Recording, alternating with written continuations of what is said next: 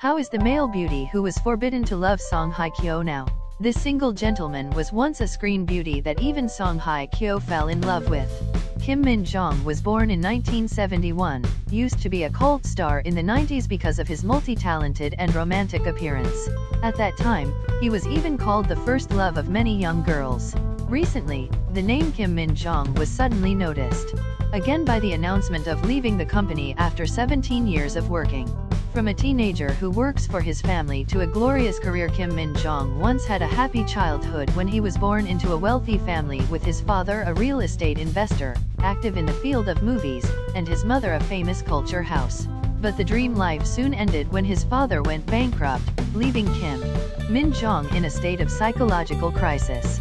Seeing his parents struggling, Kim Min Jong decided to earn money at the age of 15, that's why he got his first role in the movie Don Quixote on the Road to Conquest. Three years later, he achieved his first successes thanks to the movie Happiness Does Not Depend on Achievements. With natural talent and handsome appearance, he continuously achieved great success, becoming a screen phenomenon in the 90s. In particular, Kim Min Jong also entered the music field with actor Son. Ji Chang founded the group The Blue and achieved much success. In 2006, Kim Min Jong signed a contract with SM Entertainment, working under CEO Lee Soo-man. There was a time when Kim Min Jong was a director at SM C&C, under SM. While other artists are constantly looking for new management companies, Kim Min Jong has a strong attachment to SM because of his particularly close relationship with President Lee Soo-man. Last February, SM had a dispute at the management level. Kim Min Jong openly supported Lee Soo-man, even sending a series of emails to all company employees to urge everyone to support President Lee.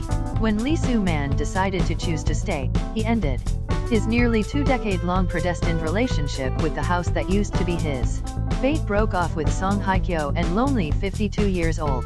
Currently, despite being 52 years old, Kim Min Jong is still a single gentleman. His appearance is not as good as before. For many years now, Kim Min Jong no longer accepts new films, only occasionally appearing in some entertainment programs and surprising the audience with his changed appearance. In the past, Kim Min Jong also had a few love affairs with famous beauties, of which the most regrettable was the S-Class star, Song Hye Kyo. The two got to know each other through the movie Guardian Angel and it was Song Hye Kyo who helped the actor Kim heal his past hurts. Kim Min Jong also stated that wants to protect Song Hye Kyo all my life.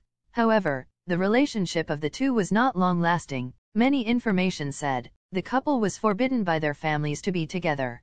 Later, Kim Min Jong publicly dated actress Kim Gyu-ri but did not come to a happy ending.